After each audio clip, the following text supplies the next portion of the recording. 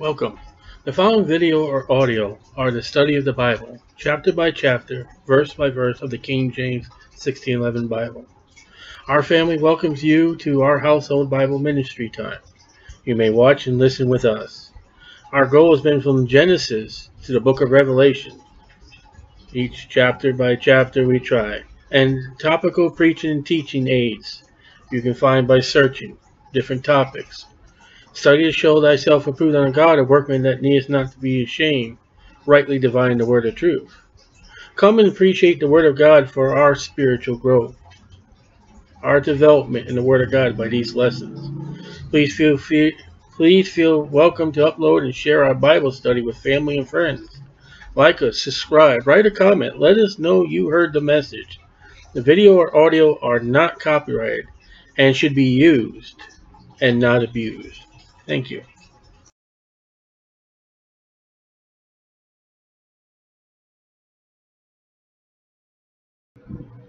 First Timothy chapter 1 Paul, an apostle of Jesus Christ, by the commandment of God our Savior, God our Savior, who's our Savior? It's Jesus Christ. God our Savior? That's Jesus Christ and Lord Jesus Christ. So that and is in addition to. Not only see God our Savior and the Lord Jesus Christ. Now, occults will teach well God on the left hand side and Jesus Christ on the right on the right hand side. Yeah, but they're one. Which is our hope? I mean God's not our hope, just Lord Jesus Christ. Kind of interesting. On to Timothy. Now we're going to look at Timothy. Timothy is an interesting character.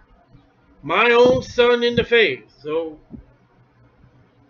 Paul witnessed to Timothy at one time, and Tim Timothy got saved. So there are such things as spiritual children. And if you don't have children that are saved that are of you, flesh and blood, Get yourself some spiritual children. And train them. Now, the man that witnessed to me back in April 1987 showed me the Bible, showed me what I needed to do to be saved, but he stopped after that Saturday. He never showed me anything in the Bible. He never helped me grow. He just, all right, here's a newborn baby. He just, thank God God took over me. And then when it came time to a special time in my life, he, he ignored me. That's not how to be. We're going to see this young man, and he's a young man. I don't know how old, but he's young. Paul has trained this man to be of a great use for the ministry. Timothy can do things that preachers today, most of them cannot do. Unto Timothy, my own son in the faith. It's not Paul's physical son. We read that Timothy's father was a Greek. His mother was a Jewish. His grandmother and his mother are recorded that bring this young man up in the Bible. Grace, mercy, and peace from God our Father and Jesus Christ our Lord. There is again, both of them. Peace, that's one of the fruit of the Spirit. So that would be the Holy Spirit working there. All three of them. Scripture with Scripture. As I besought thee to abide still at Ephesus. Now we read a book about Ephesians. Very good church, right after Galatians, that got involved in being put back in the law by some deceivers. But he said, Timothy, stay here. Now, Timothy wanted to go with Paul. Besiege. No, no, Timothy, stay. Come on, Paul, can I go with you? No, stay. Here. I want to go. Timothy, stay here. Where Timothy stayed, they worship a Diana, the Greek love goddess. Now, would you see why, if Timothy really loved the why he would not want to be in this country? This is the same place. Diana, the great god, the silver shrines, the image that fell from Jupiter, and Timothy's like, I don't want to be here. I'll be with you, Paul. And The whole city was given over to Diana. So you see what the love of Timothy, he does not want to be anywhere where God's not. Paul says, stay. When I went into Macedonia, so Paul goes to Macedonia, he leaves Timothy behind. That thou, okay, here it is, that thou mayest charge some that day, teach no other doctrine. All right, Timothy, stay in Ephesus. Oh, Paul, stay. All right, what do you want me to do? You better rebuke these some of these people. How's that? There's false teachers. And Timothy's charge is to rebuke them. So Timothy has to be a strong man in the word and in the Lord that he's going to go against the enemy. Not Diana. He's going against those that are deceiving the church. That's a very remarkable man. I don't see pastors today defending their flocks, teaching them about the ways of the television and radio preachers and giving them warnings. Timothy would get up at the pulpit and say, hey, this is the man that's in trouble. This is the doctor that's causing division. This is what you're not supposed to do. He's a strong man. And it started off with mom and grandma. Neither give heed to fables that means you don't lie in the pulpit. You tell funny little stories that are not true so everyone can giggle. That's you don't believe old wives' tales. You don't listen to Aesop's fables. You don't listen to uh, fairy tales. Don't give in to them. If they're lies and tales, don't give heed to them. Don't even give them the time. And endless genealogies. That's the Mormons' function. The Mormons in Utah have a great big vault of dead people's names that you can, you know why they do that? So you can pay homage for those people whose souls are in some kind of damnation, that you can pray for those souls out. That's why they do it. They don't do it so you can know your family tree. They believe that souls departed, you know, they need, like the Roman Catholic Church, they need money and cash and you can get them out. That's why they do it beware of endless genie. They go on and on and on and on.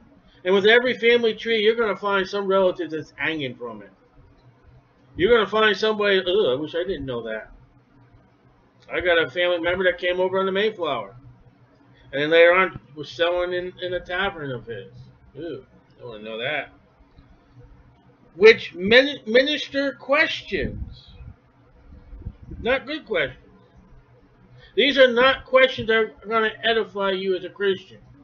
And these questions would be like people, where, how did Noah get all get all the uh, animals in the ark? That's just a stupid question. Can God make a rock so heavy he can't? That's a stupid question.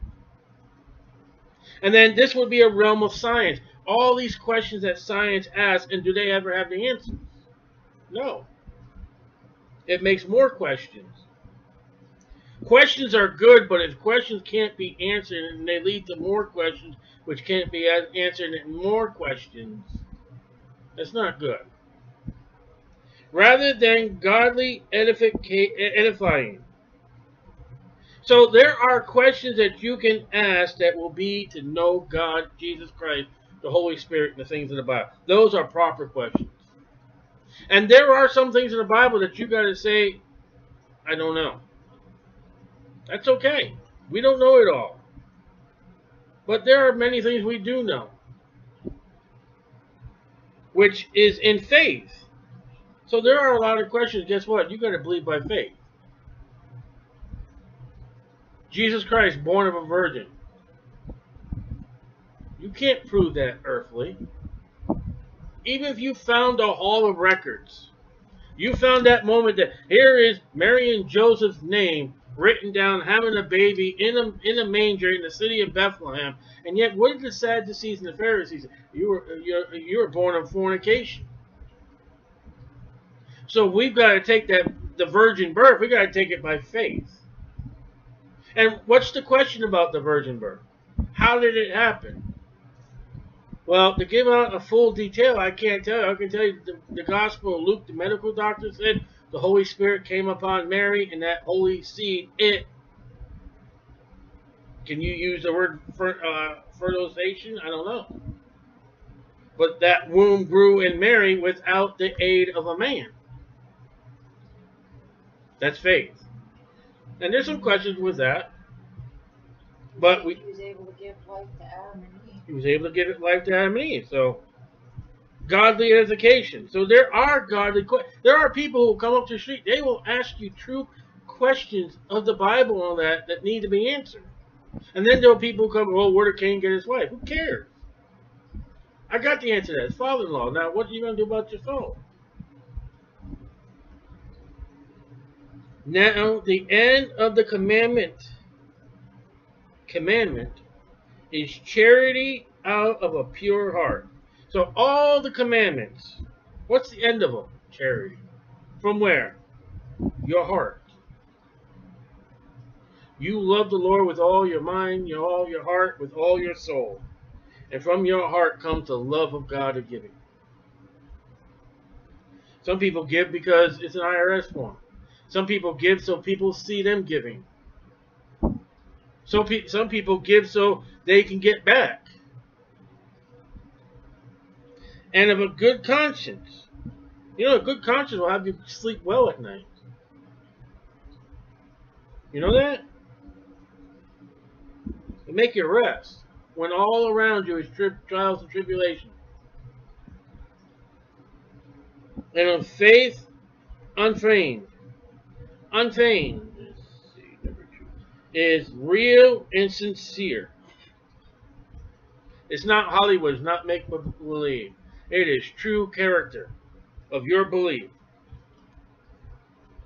I'm going to say right now, when it comes to Timothy, growing up as a young man, when you have your youth group act out different things and stuff like that in skits, you're not setting your children out as Timothy. I don't care what you say because they're framing to be somebody else and something else that they're not. That's not a good start.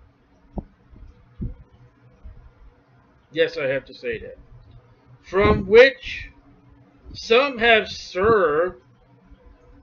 You ever see that in, in America? You ever see that, that yellow street sign? The car, you know, he swerves. There's a wet, slippery spot ahead. Swerves, has turned aside. He's gone off the road and he's slid onto vain jangling. Uh, see my note here. Quarreling, noisy dispute. Vain. They're debating. They're having debates. They're having arguments that mean nothing, have nothing to do with nothing, and nothing for godly edification. So they'll come into the church and say, well, we will challenge your what you believe with what we believe. And we'll give each person 30 seconds to speak. And for what purpose does it come out at the end? And churches that get involved in those things, they're wrong.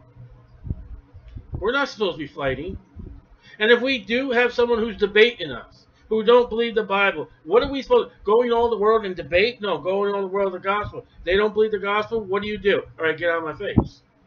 Because if you're not going to do the gospel, you ain't going to do nothing else. You're wasting my time. Somebody else may want to receive the gospel. Thank you very much. Have a good day. Let me move on. I'll let you move on. And there's no sense in somebody coming up to you debating on the street. You know, hey, it's the gospel. I'll answer what the questions you got, and that's it. There are some times when I think when the Jehovah Witnesses come, I will debate if I think that person with them is young and new, try to get them out. In other words, if they think they know what they're doing, they seem to be skilled in the religion, all right, here's a couple Bible verses, be gone. We're not supposed to debate. They'll be debating with God one day. You just be faithful to the Word of God and what God told you to do. And God, God, see, you plant the seed, you water. God will give the increase. No fighting is going to do anything. Proverbs said, Yea, he that is good fighteth with him that's a fool. And you know what? You both look foolish. Alright, now here's the problem. Desiring to be teachers of the law. Now this already crept into Galatia Church. We've already read the, the, the epistle of Ephesians. They were right church. Remember he warned them about the law? Timothy, stay here. Don't let this happen to the Ephesians as it happened to the Galatians. Stand firm and fight and be a young man in the battle and of the word. Because there are people who are entering to Ephesians with letters behind their name with their name in big letters. The ministry of such and such. We're going to teach you what God has to say. Understanding neither what they say nor whereof they affirm. They have no idea what they're saying. Oh, the Hebrew and the Greek. They don't know the Hebrew and Greek. They don't know the biblical Hebrew and Greek. Because no one speaks the biblical Hebrew and Greek today. Who cares? as an American, I press one. I got to understand English. And they use these big, fluffy words that nobody understands to make themselves out somebody they're really not. And they never probably led a soul to Christ. They probably never came up to someone who's lost and witnessed to them. But we know that the law is good. Look at that. The law is good if a man use it lawfully. Now, what is Paul saying there? You don't use it for salvation. You use it, we're going to see the next verse, to show a man's a sinner. I do not preach on the street, say, hey, you know, if thou keep the Ten Commandments, you're going to heaven. No, that's wrong. But if you broke stealing, we don't need to do the other nine. Forget the other nine. You've done one. If you told one lie in your life, forget the other nine, you broke one. How about the first commandment? God first all the time, every time, every moment, every time. We broke the first one. We don't need the rest of the nine. That is to show, hey, you are guilty. The law is to be used rightly to say, hey, you're a sinner. Okay, now what you do with your sins? Well, use the law to get you saved. Now you're using it wrongly. When you can use the law to say, hey, this is what you're guilty of. When that person, now, hey, you know what? I'm a sinner. Now you go into the to the New Testament. Now you go and deal with him with sin through Jesus Christ, who is the end of the law, who fulfilled the law, that we might have hope. Use the law all you can. I mean, even the I mean verses right there. You know, tattoo. Show them go if you you got a tattoo all the body. Say, hey, you see the you know what you're doing is violation of law. You're guilty. But you don't use the law for salvation. I, I've heard I've heard of, of, men who go on door knocking, and one man I used to know, used to be so funny. He, he pulled a person out of his house and said, "Hey, you know, especially a Jewish person. He said, where's your battlement around your roof? You're a Jewish man. You you go to the temple, the the the the, the, uh, the synagogue, and you don't have a battlement around your roof. And he say something like, "You need to go to Jerusalem." And what he's doing, he's showing them the law. He's saying, "Hey, that law violated not having that battlement." I used to love listening to him. And the fact is, okay, go to Jerusalem. Wait a minute what's going to happen if you go to Jerusalem? You can't go to Jerusalem. The temple's not there, so your law can't save you. And then that would open up the door, which would be very quick. Doing with a Jew would be Jesus Christ, and that as soon as you mention that, that would close right there. But the law was used to say, "Hey, you're not doing what God told you to do now." Knowing this, that the law is not made for the righteous man, can you get it more clearly than that? Under grace, okay? Now let's just be honest here. Under grace, the seven day Adventist, Mary Baker, any of that, don't give me this I can't eat crabs, lobsters, and shellfish. Because the law is not made for me righteousness in Jesus Christ. I don't have to. Li- I can have a dog in my house or a cat, even though they are unclean. I am under grace through the righteousness of Jesus Christ. Now, like I said, I always said as an example, if I'm going to sit down with a meal with a Jewish man and hopefully talk about the Bible with him, I will not order pork or a lobster. Because guess what? If he's not saved, he's still under the condemnation of the law. He's still guilty. I'm not. But for conscience sake and for the ability to, to reach someone with the gospel, I've got to do some things by their life. In the hope to show them that they're guilty and bring them to Christ. But as far as, you know, I get to heaven and God said, you know, I counted every single lobster you ate. And man, I'm telling you, 1993, you ate a lot of lobsters. You ain't coming here because I said no shellfish. And with all those lobsters you ate, go to hell. No. Wouldn't that be funny? Jesus Christ suffering and dying and, and being, uh, according to the scriptures, and being buried and rose again the third day according to the scriptures. And I'm not going to heaven because I violated the dietary laws. That's stupid. Because I kept Sunday instead of Saturday. Really? So, you deal with a lost man. Do you give God one day of the week? One whole day. Do you rest your body? You know where Revelation 20 is? Go Revelation 20 and say, listen, you're supposed to have a day off. You're supposed to give yourself rest. You're a violation of what the law said. If you don't take one day off. Now, I wouldn't say Saturday or I wouldn't say Sunday. Just listen, one day. You take one day. You take one. The Bible says you're supposed to give yourself rest if you don't do it. That's somebody good with, with a convenience store and all that. Or a man that has his own business with his family. He works seven days a week, 38 hours a day. And when you take the fact, oh, I am, I'm supposed to take a rest, yeah, my health is not good and all that, then what do you do? You bring him to the gospel. You bring him to Jesus Christ. Let Jesus Christ take care of the law in him.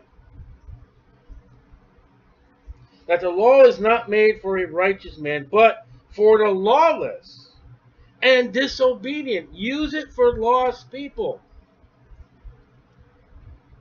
That's what it's written for. Then you bring them the gospel. For the ungodly, all right, and for the sinners. Are you, if you're a child of God, are you, through the spiritual circumcision of your soul and your flesh, are you considered a sinner to God as a child of God? No. Your flesh is. You've been having, you've had that spiritual circumcision. You've got God, Jesus Christ, and the Holy Spirit indwelling with you. Yeah, you may sin, but in the eyes of God, you've got Jesus' righteousness. Then that law is not for us. It's for that flesh. And what does the law state? The wages of sin is death. Well, that's not the law, but that law showed me who I am. If I did not have the law, be the wages of I ain't got no way. I'm just gonna go and do my life, eat, drink, and be merry. And tomorrow I die. Oh, you mean I lied? You mean I didn't get rest? You mean I, I, I, that pencil I stole, I'm under the condemnation? Death. For unholy. I'm holy. And profane. These are how Paul sees the unsaved person. This is not supposed to be Christians. For murderers. And watch this. Not just murderers, murderers of fathers. And murderers of mothers. Boy, he really names that one down. Now, why is he specific about parents? I have no idea. Maybe it's because of where he is in Ephesians. Maybe something's going on there. I don't know. For manslayers. Yeah, thou shalt not kill is in the Ten Commandments. A Christian ought to know he's not supposed to kill. For whoremongers.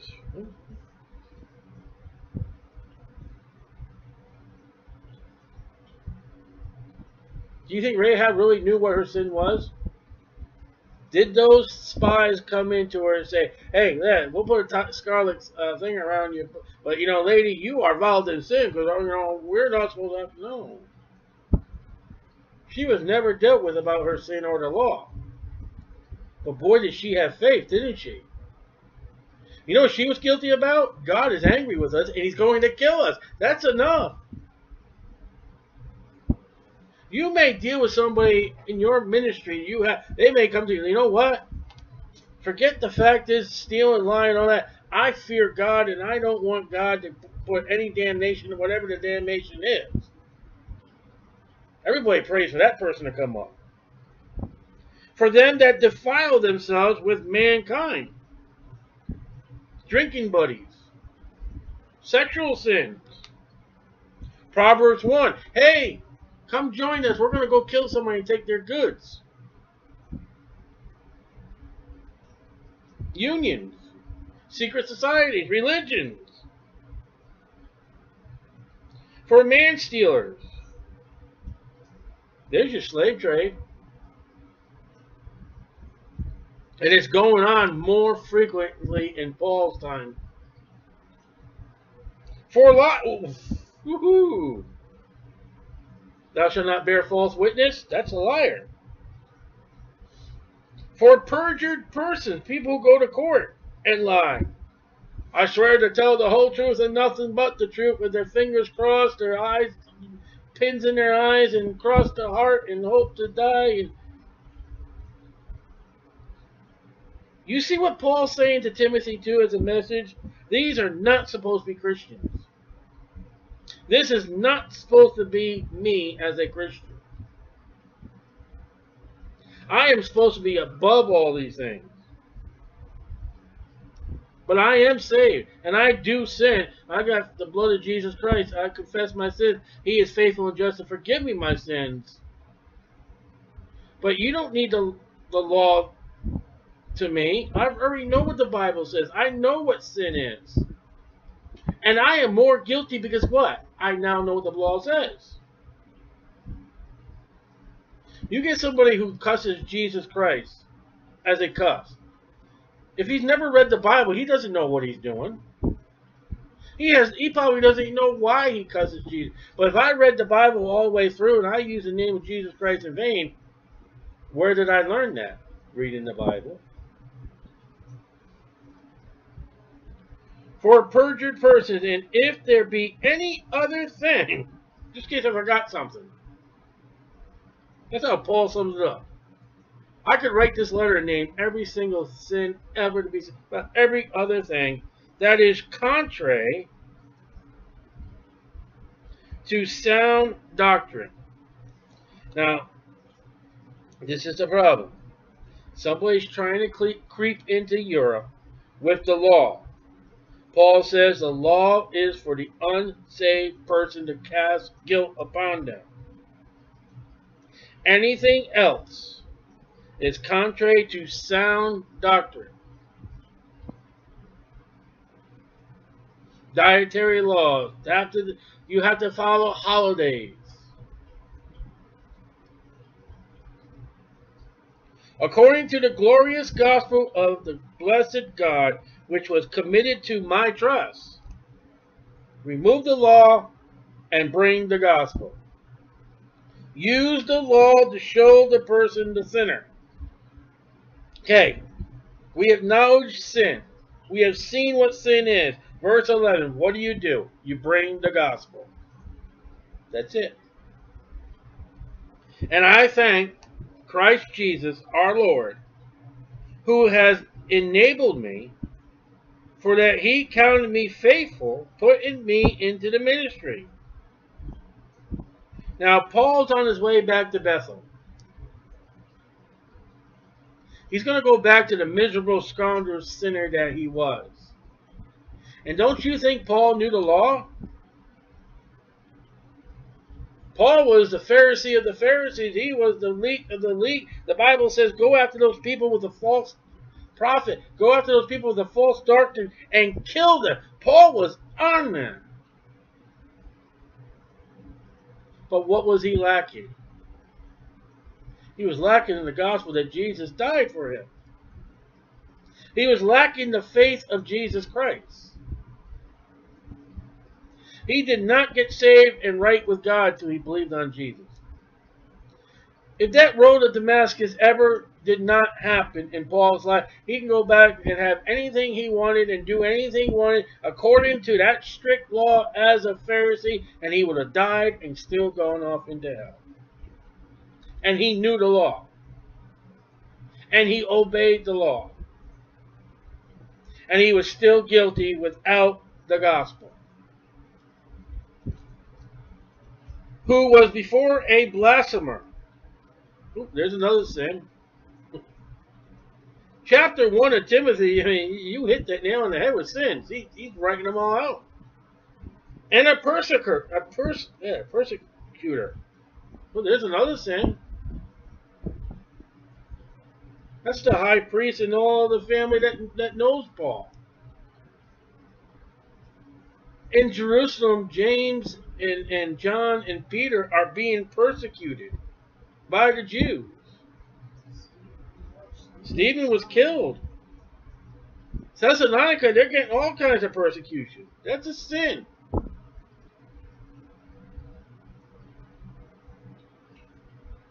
And in injurious.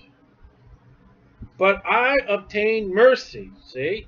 Man, he was elite of the elite but he had not mercy. You know what the law is? The law is condemning. The law is for, fearful. The Lord is, is, is the law is condemn him. Damn him. And Jesus says, Father, forgive them, for they know not what they do. Paul knew exactly what he's doing, but the words of Jesus, you don't know what you're doing. Paul, you're persecuting me. No, no, no, I'm persecuting the Christian. Oh, no, you're not. You have no idea what you're doing, Paul. Every one of those Christians, you're doing it to me. People don't realize when they come up, whatever ministry you got, whatever attitude you get to your disliking, they're doing it to God and Jesus Christ. And they don't even know that. So where's that one? Thou shalt not take the Lord's name in vain. Oh, that Bible, oh, that's just stupid. Oh, careful, sir, please. Careful what you say. The law says, because you're not saved, the law says you're guilty. Judge not least you be judged. Sir, the law is judging you. Would you like to come to Calvary and be free? But I obtained mercy because I did it ignorantly in unbelief. He had no idea what he was doing. He thought he was doing well and good for God.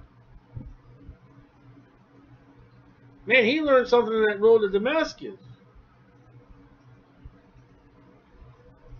And the grace, mercy and grace are not in the law.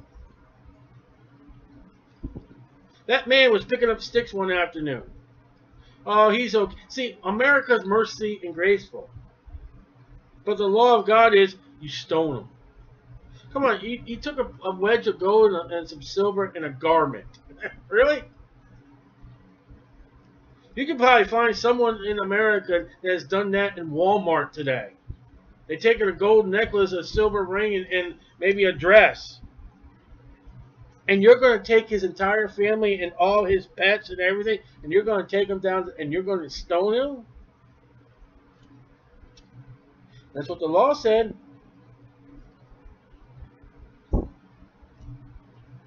You know, people are in jail because of the law. And they don't realize the greatest blessing when God sends a man with a Bible into the prison with mercy and grace while you're under the condemnation of the law. That's the that's why people in jail get saved more than anybody else in the outside world because they've seen the law, the actions, and the and the the result of the law. And when you come in with mercy and grace, like, wow, I am guilty of that crime, but God will forgive me. And yes, I've seen big, strong men in prison break down and cry and say, I gotta have that. And let me tell you, that judge I'm going to see next week, he ain't going to show me no mercy. He's going to probably keep me in here longer. Yeah, but you know what? God is better than the law. Because God fulfilled the law. Exceedingly abundant with faith and love which is in Christ Jesus. There's no love in the law.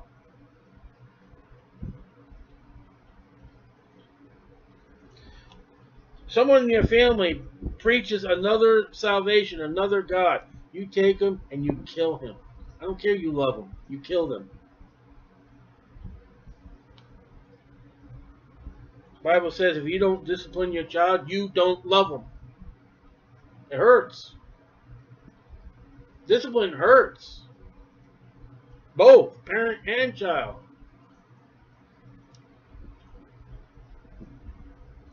This is a faithful saying and worthy of all acceptance. Oh, here we go. This is something good and right. Receive it. That Christ Jesus came into the world to save sinners. John 3:16. Of whom I am chief. Now that's just not words. This is a humble man.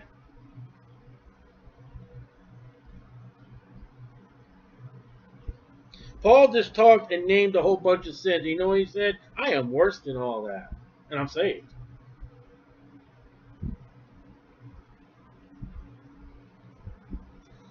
Howbeit, for this cause I obtain mercy, not by the law, that in me first Jesus Christ might show forth all long suffering, for a pattern to them which should believe, which should hereafter believe on him to life everlasting. Now, you know, you know what Paul's teaching Timothy? Timothy, you're staying here where the law is coming back. People are deceiving the people with the law. You teach them about sin, but you show them mercy and grace. How do you battle the law being deceiving teachers? Mercy and grace. Timothy, that is your tool. The gospel of Jesus Christ is your weapon. And I want to know, Timothy, I'm the worst sinner. I was a Pharisee. I obeyed that law. I didn't know what I was doing. But yet, even in my ignorance, I am and was the chief sinner. You know why I am where I am today? Not because I obeyed the law, because of the mercy and grace of Jesus Christ. When you go or stay in Ephesians, and you're doing with the Ephesus church, keep them with the mercy and grace and gospel of Jesus Christ, and that will keep the law out. Remind them of my testimony. Howbeit, for this cause I obtained mercy, that in me first Jesus Christ might show forth all long suffering. When you did something that was contrary to the law that, that demanded the death penalty, you were to receive it right then and there. God says, I'm not willing that any should perish. I'll let a man live 30, 40, 50, 60, 70, 80, 90, maybe 100 years until he can still hear that gospel before he falls off in death. There may be a reason, there may be one person at the farmer's market for our family that God says, I want you there just for him. He is selling grapefruits and you stay there week after week after week after week just for that man. Don't you worry about anybody. I have you there just for that man. That may be the case. I don't know. I'm just saying.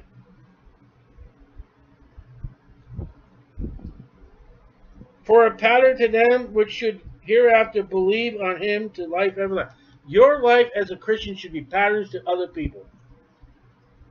They should, hey, that's what a Christian is supposed to be doing. I'm going to follow him. I'm going to I'm going to latch on to him. I'm going to find out more. I'm going to find out everything I can do. That's what a Christian's supposed to be. It's not. There are very many poor examples, more than there are good examples today in today's church. Now unto the King eternal.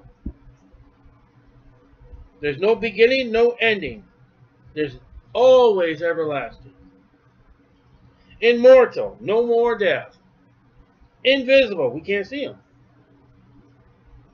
The only wise God. Ooh, ooh, ooh, ooh, ooh, ooh, Paul 16, you were talking about Jesus Christ. Don't call him God. He's God. Paul said so. There he is. That's good. Be honor. Well, the Old Testament said you only honor Jehovah. Uh-huh. And glory forever and ever. Ever and ever and ever. Amen. You know, you see where that would watch. God be honor and glory forever and ever. You know what the world's version is of that? I'll tell you. They live happily ever after. They stole from the Bible. The, the, the little handmaid, she met the prince, they got married, they rode off on, on the nice white horse, and they live ever happily ever after for the rest of life. You know, even though, you know, he got her a bunch of maids and they couldn't clean as best she did. She knew how to wash the clothes a lot more than the maids did. No, no, no. The Bible says, it's the Bible. They live happily ever after. But be glory forever and ever. You know what you're going to get in heaven? You're going to give God honor and glory for all eternity in heaven. It's about Jesus Christ. Not of works. Not of works, least any man boast. So forget about the law. We're not going to boast for glory and honor forever and ever. But, oh, I never stole anything. Oh, aren't you a good guy? Well, I never lied. Well, you, hey, glory to you. You never lied. Wow, great. I never had seafood. Oh, praise you. No. Our salvation rests not on the law, but Jesus Christ, God. To him be the glory forever. To him that has the marks in his hands and his side and his feet. Why? Because the law can't save me. Jesus saved, and only Jesus saved. This charge I commit unto thee, son Timothy. This is almost like Moses going to Joshua. There's big trouble in, in Ephesians. I'm leaving. Bye, Timothy. Bye, Joshua. I can always imagine Joshua when, when God said, choose Joshua. What?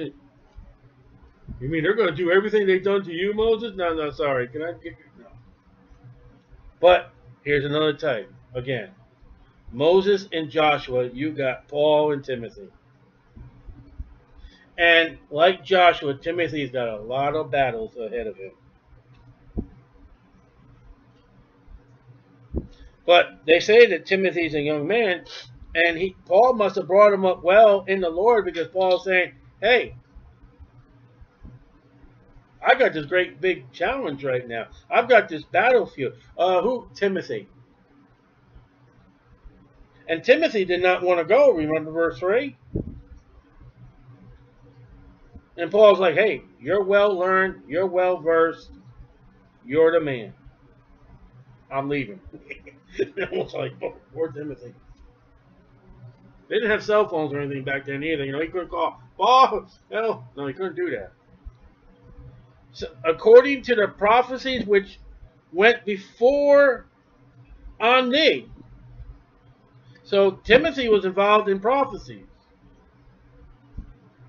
That thou be the, that thou by them watch, watch, mightest war a good warfare.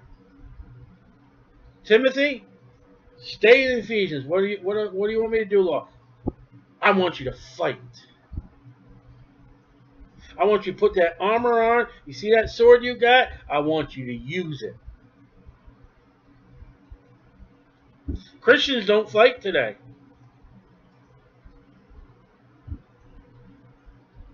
It says a good warfare. Now I got a note over here that says the good warfare. You know, it's not the good warfare. You know why? If you've been saved many years, haven't you had many different warfare, many different battles? It's not one battle. It's all different kind of battle. And you don't know who's going to pop up around that corner. You need to read Fox's Book of Martyrs. That guy was faced with all kinds of warfare. Man, Satan, flesh, and God threw all kinds of things at Christian. It's not one. Token progress. Don't get a Christian thing, oh, I'm going to have one big battle and that's going to be the end. No. When he gets victory over one battle, guess what? There's soon to be, when you get down in that mountain, when you get down that valley, you're at the top of the mountain, guess what? You look down, there's another valley. When you got a Bible that says, the good word, it makes it sound there's just one problem, that's it. No. Don't lie. Holding faith. What was that armor of faith? Remember? The armor, spiritual armor that Paul spoke about in Ephesians. Which one was faith?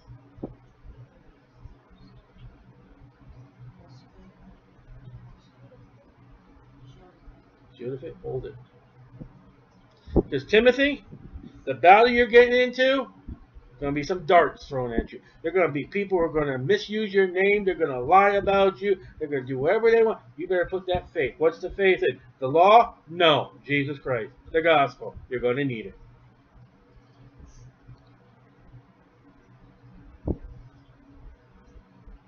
And good conscience. You better do what you're doing. That hey, you ain't guilty. Because you know what they're going to do to you? They're going to lie about you. And when they lie about you, Listen, between God and me, I didn't say that. I didn't do that. That's their lie. Character again. Which some, having put away the faith and the conscience, concerning faith, has made shipwreck. They got rid of their faith, they got rid of their conscience, and they headed right for rocks and they broke that ship apart, and there are things floating. There are things that sunk. There's lives lost. There's destruction. There's no money. It's you can't use it no more. The ship is gone. Taken from Paul, I think he said he had what three shipwrecks himself. Paul knows exactly what he's talking about. Timothy. Timothy may have been one of the people with him on one of them shipwrecks. He might be reminding Timothy, remember one of those shipwrecks we had? Hmm. Is that a good illustration? Of whom is Hymenaeus and Alexander. Man, Paul is naming names. You gotta be careful. I'm not saying. I mean, be careful. Today, you got a law system in America. If you mention someone's name, they can take you to court. If our system was, our court system was after the Bible, you wouldn't have to have that fear. If they were found to be liars, you wouldn't get a lying jury to protect the lies. But of whom is Hymenaeus and Alexander. Now watch this. Who has to who I, Paul, have delivered unto Satan. Paul did that to the man that was committing fornication in the Corinthian church. This is twice Paul has turned somebody over to Satan. You didn't want to get Paul mad. You didn't want to get involved with sin. And Paul said in Corinthians, for the destruction of the flesh. That Satan may go after them, Satan may kill them or destroy them so that they will not. Looks like they could be saved, these two.